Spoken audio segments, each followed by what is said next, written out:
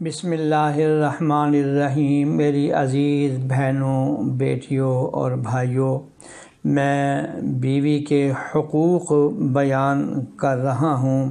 آج میں جو حدیث پیش کر رہا ہوں، یہ حدیث نمبر تین ہے جو میں پیش کرنے لگا ہوں۔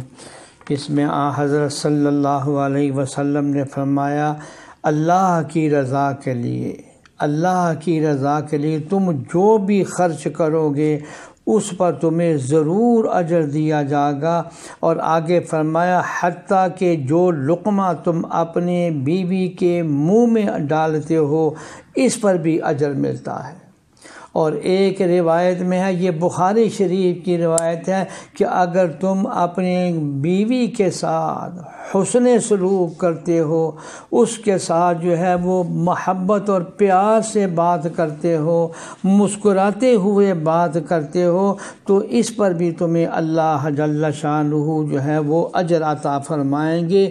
کیا سا پیارا ہمارا دین ہے؟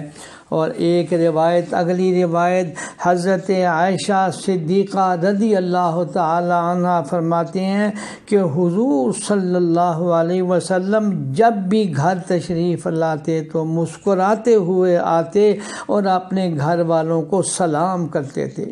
یعنی کبھی ایسا نہیں ہوا کہ حضور صلی اللہ علیہ وسلم گھر میں تشریف لائیں اور آپ کے چہرے پر مسکراہٹ نہ ہو۔ یہ مسکراہٹ کے ساتھ گھر میں داخل ہونا سنت بھی ہے اور پھر دیکھیں کتنا بڑا اجر و ثواب بھی مل رہا ہے۔